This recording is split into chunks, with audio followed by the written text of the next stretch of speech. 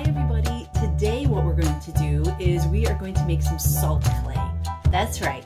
You just need three ingredients to make this salt clay and the best part is once you've mixed up the ingredients you can start playing with it right away.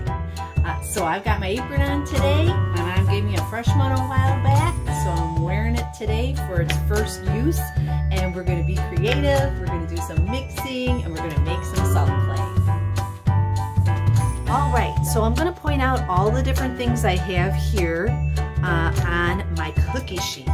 This is really helpful, everybody. If you've got a cookie sheet, you can work within that. So if anything spills or dribbles, it's all caught in here.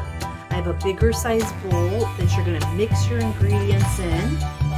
And so what I've got here is a finished salt dough clay. You can see how much it makes. It's a great little amount and it's soft, it's smooshy, it's not sticking to my hands and it's not crumbly, it's just right. So here's how you'll make yours.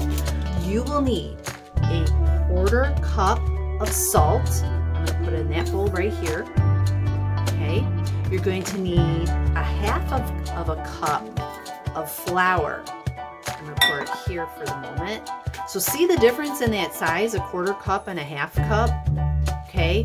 Lastly, I filled up a quarter cup worth of water and I put the water in this little container right here. That's all you need. Quarter cup salt, half a cup flour, quarter cup of water. So what I'm going to do next is I'm going to combine the dry ingredients together. So there's my flour. Now I'm gonna sprinkle the salt in.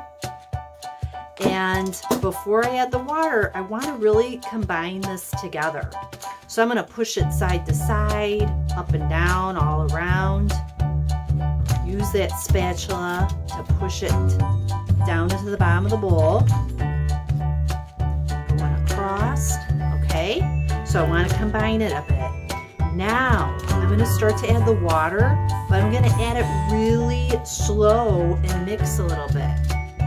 So I'm gonna add just a bit and start to move my spatula around. Add a little more, you'll see as I go. It's gonna look crumbly for a little bit here and then it'll start to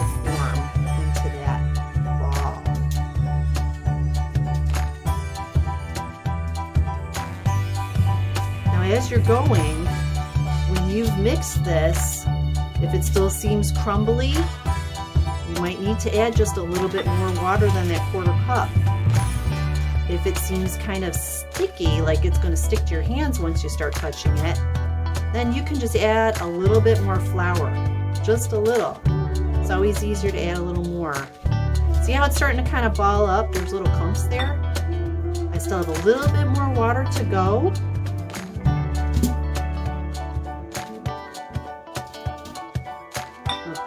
Rest of it in. Still gonna use my spatula a little bit more.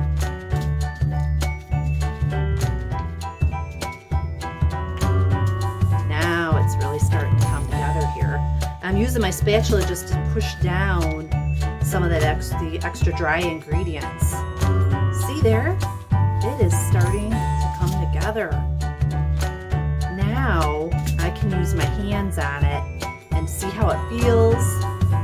Take some of that off my spatula. Pick it up here. Ooh, that feels so good, so smushy. Like some of you guys would say it's very satisfying. so it's a teeny bit sticky, so I could use a little bit of my flour I had here. And I'll dry it up a little bit.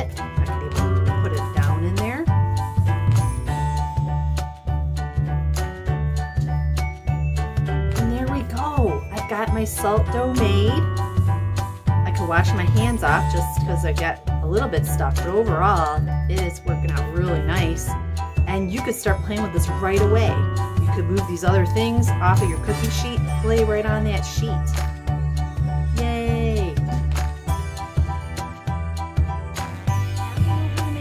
Wasn't that easy? Now you know. Now, to keep your salt clay lasting for a bit, you can just put it into a Ziploc bag, seal it up, and it'll last you for a bit. Now, if you want to have a grown-up uh, help you change up your salt clay a little bit, you could add some food coloring to it if you have any at your house. If you don't, just use that clay as is. But I put a couple drops of food coloring in this and mixed it, smooshed it with my hands. Now my hands had gotten really messy, but it all washed off. So if you want to have a bunch of different colors, you could do that with one batch worth. I was going to start to make an earth eventually with that. Something else you could try, if you have cookie cutters at home, I did some cookie cutters and made some little teeny salt clay ornaments.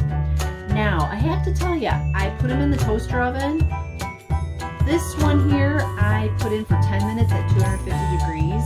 It still wasn't all the way set. I can kind of smush it a little bit here. You can maybe see with the coloring, the whiter it is, the more baked it was. Um, this one I left in for about 40 minutes. Could have probably still left it a little bit longer, but just wanted to see the difference. And they're not going to stay permanent, but if you want to have something last a little longer, have a little decoration in your house, you could try that out too. Again, that's definitely one for a grown-up. You have in a toaster oven or in It at a low temp. I tried 250 degrees. So I hope you had fun today. Keep being creative. I miss you guys and have fun.